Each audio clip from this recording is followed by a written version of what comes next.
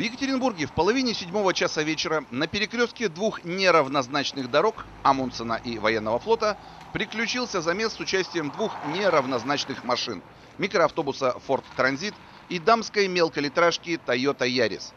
Несмотря на лютейшую разницу в весовых категориях, болиды все же имеют общее – это красный цвет. Декорация такая. Барышня, ну как тоже барышня, 43-летняя дама на мелкой Тойоте с мужчиной на месте смертника катилась по улице военного флота от советских женщин в сторону печатников. При выезде на нерегулируемый перекресток Самонсона дама должна была посмотреть на знаки свыше, которые ей сообщали «Уступи...»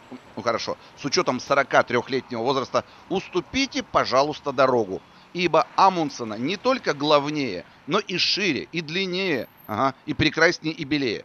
Однако на Амундсена уже много лет существует, казалось бы, странная традиция. Автопилоты, которые едут по главной, из милосердия и сострадания останавливаются перед многочисленными второстепенными выездами на Амундсена из цыганского поселка и пропускают машины, то есть дают им возможность выехать на главную вопреки знакам.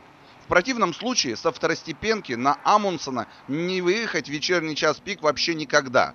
Ибо что такое Амундсена? Это одна из важнейших артерий, по которым горцы по вечерам возвращаются из центра полуторамиллионника в юго-западный спальник.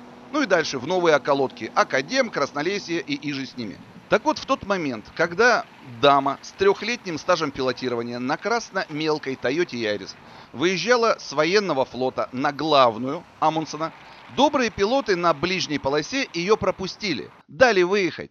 Пилотка на радостях рванула вперед, насквозь через Амундсена и, видимо, совершенно забыла посмотреть направо, хотя она сама уверяла позже, что яркий красный Ford Transit на дальней полосе справа вроде как увидела. Ну, типа далеко, дескать, понадеялась, что успеет проскочить.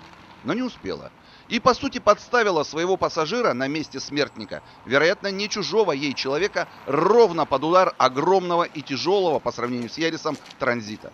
Давайте послушаем фордовода Рустама со стажем руления 10 лет и нулем в графе НПДД, который оказался единственным участником замеса, не повредившим свое физическое здоровье. Я прямо оттуда, по Амундсену. В сторону Щерса? Да. И как ДТП произошло?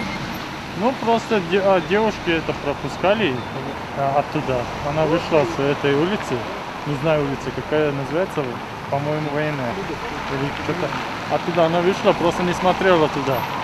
А я по прямую не успел тормозить и даже. Кто-то пострадал? Да, трое. Двое пассажиров. а, Мой один пассажир, а там водитель и пассажир. Сильно пассажир пострадал? а нет? Нет, там, не знаю, в больницу везли всех. Медики скорой надиагностировали 43-летней виновнице замеса повреждение ребер и тупую травму живота. Ее 38-летнему пассажиру, принявшему удар на себя, перелом ребер, что неудивительно. А больше удивительно то, что он вообще выжил в этой скромной по размерам будочке на колесиках. Вероятно, боковые подушки выполнили таки свою миссию.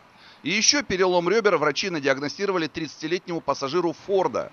Механизм получения такой травмы не совсем понятен. Ну, видимо, он сломал ребра о ремень, ибо по данным ГАИ все участники автобитвы были обременены.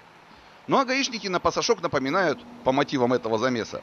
Будьте осторожны, аккуратны, бдительны и уступайте дорогу на нерегулируемых перекрестках. Имеется в виду, уступайте ее согласно знакам, уступайте тем, кто едет по главной. На Амундсена же по вечерам какая специфика? В сторону юго-запада машины гуськом еле плетутся, зато в сторону центра пусто и раздольно, и там скорости весьма высокие. Потому и получился такой жесткий замес с тремя покалеченными.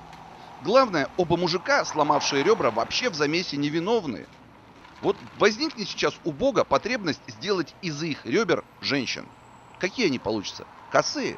Кривые? Недовольные? Нервные? Нет, надломленные.